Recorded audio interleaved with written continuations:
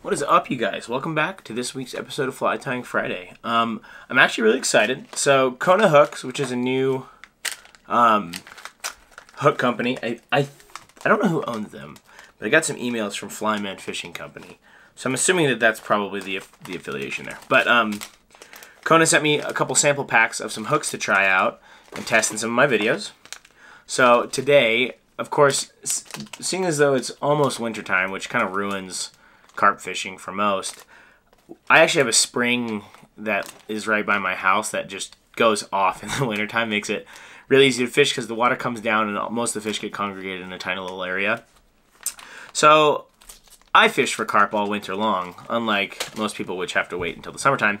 But today we're going to be tying um, a slight variant of John Montana's carp hybrid, which is just a small kind of kind of suggestive pattern that can be all kinds of stuff. It's got a little tail that can make it look like a clam. It's you know you can tie it in different colors to make it look like little damsels or any sort of small crayfish or crustacean on the bottom of the lake.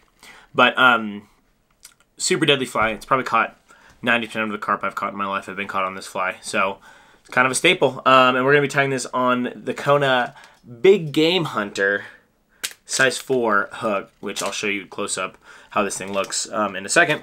But should be pretty cool. It's a freaking stout hook. I've been tying a couple, I've tied a couple flies on it already just to kind of test them out before this. And I'm super impressed. This thing is super, super solid. So let's, uh, let's get started. Okay, I decided to switch shirt colors so you could see this a little bit better. Um, but, so we're to start off the fly. It's basically just a three or four material bug. It's pretty simple.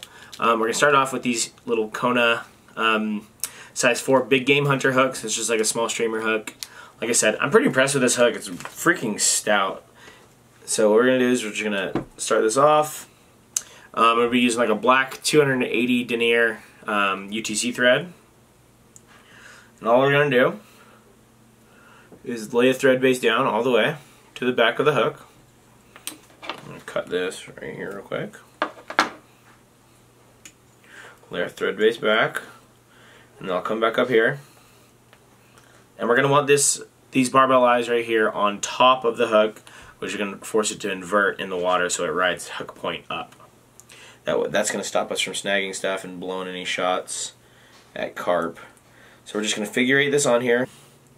When I tie this pattern, I basically just butt these eyes up right against the eye of the hook um, in order, just because most of the materials are on the back end and these eyes really aren't for aesthetic as much as they are for keeping that hook riding point up and uh, making sure that uh, making sure that the fly is heavy enough to get down in front of the fish. So as with almost all barbell eyes that I put on, I'll figure eight those on and then I'll add a quick dab of glue typically on the bottom side of this because that's the side that's uh, bonding to the hook.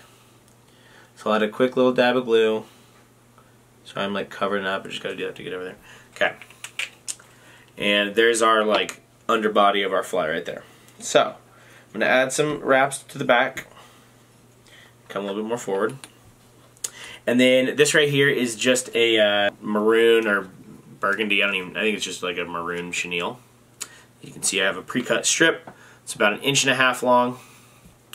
Uh, and basically what we're going to do is we're going to tie this in as a tail and it's going to create kind of the illusion that this thing could be a crab or a, um, a clam because as you guys know a lot of carp will actually be digging around eating freshwater clams so it covers that end of the spectrum right there so we'll tie that back a little bit where the hook right back to where the hook starts to bend I'm going to cut that and we're going to burn that here at the end of the fly real quick um, I know John Montana uses like a peacock a black peacock dub, just kind of like this. So we're going to use this on the body. Um, and we're basically just going to create a dubbing noodle that's going to wrap all the way up, basically to right before those eyes. And so we'll dub this on in just a quick little noodle. As you can kind of see there, just doing a nice tight uh, dubbing noodle. I, I feel like uh, the key to getting aesthetically pleasing and durable flies when you're using dub like this is to use a very, very tight noodle. And that'll actually give you a lot more control over the width of, you know, how, how uh, thick the dubbing is as you tie it into the fly, this fly, you know, we want this to be a pretty meaty bug. So we're going to just wrap this up and just making sure we have a slight taper all the way up the fly. Like I said, I like mine to be pretty, pretty stout and meaty. So I'm going to wrap that up and then I'm going to finish that off right. And that was like the perfect amount of dub. Um, for extra bugginess, you can grab some Velcro or some sort of brush and brush this back and then create a nice little, you know, silhouette of a bait fish too if you want it to look like that.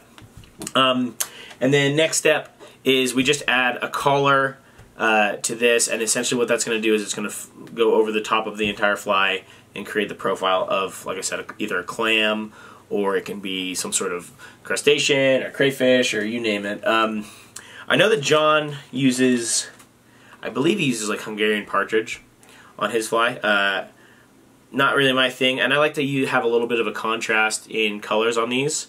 Instead of it all just being green and olive, I like to have uh, you know a little bit of tan and green and that kind of stuff. I feel like it just makes it a little bit fishier. So what we're going to use right now is, this is actually, believe it or not, just schlappen um, fibers from whiting, uh, and we're going to use some of the shorter fibers here on the back of this. As you can see, those are kind of a nice length right there. So what I'm going to do is I'm going to take this and I'm going to peel some of these off right here, as you can see. So I'll peel a nice little section of that off. And I'm going to cut this, give myself like a half an inch of this stuff to tie in, just to make sure we're not losing any of it. What I'll do is I'll tie this in, put some wraps in front and behind of it, and then I'm going to take my scissors and cut off that little butt end that I just left to tie this in, if I can get to it. This is where good sharp scissors help, like these rising scissors. Okay, so now we just have this, and we're to palmer this up the fly right here on the back end, and I want to usually be able to get like two or three good wraps, just like that, and then I'll finish on the top of the hook. That's just where I usually finish my flies. There's really no reason to do that, but personal preference. Okay, so I'll take that and I will cut that off.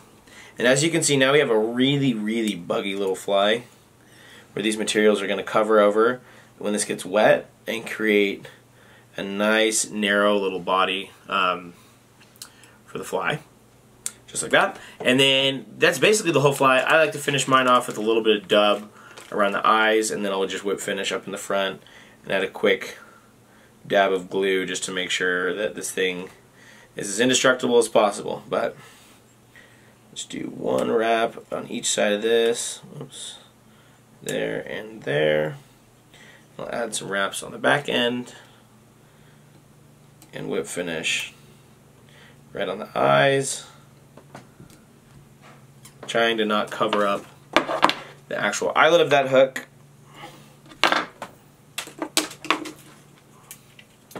And then again, I'll flip this over on the back side. And a nice little dab of glue right on those wraps. And that right there is the finished fly. Actually, not yet. Not the finished fly yet. Now it's the finished fly. After I put this little bit of fire on the tail just to make sure that that's not going to come undone and get frayed or anything like that. It has officially been glued to my finger, so that's good as well. But I'll put this back up on the vise. And then I'll actually show you guys this red one too, or kind of like a more, you know, blood blood leech color right here as well. So the, that's probably the most effective carp fly that's ever been created. I think John Montana literally came up with the perfect fly in almost any situation. So um, give it a try. Super easy. Um, I'm going to link to Kona's website in the description below so you guys can kind of check out the lineup of hooks they have. They sent me quite a few different kinds of hooks, so I think the next couple videos are going to be tied on their hooks, um, and we're going to be messing around with some of that stuff. So thanks for watching, and uh, I'll see you guys on Monday. Later.